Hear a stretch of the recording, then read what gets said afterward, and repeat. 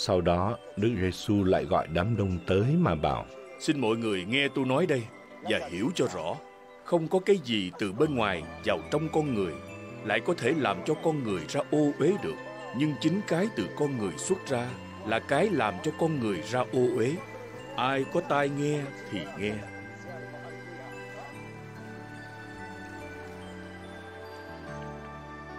Khi Đức Giêsu đã rời đám đông mà vào nhà, các môn đệ hỏi người về dụ ngôn ấy.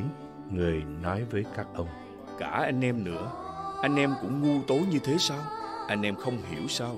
Bất cứ cái gì từ bên ngoài vào trong con người thì không thể làm cho con người ra ô uế, bởi vì nó không đi vào lòng nhưng vào bụng người ta rồi bị thải ra ngoài.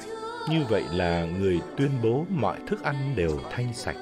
Người nói: Cái gì từ trong con người xuất ra, cái đó mới làm cho con người ra ô uế.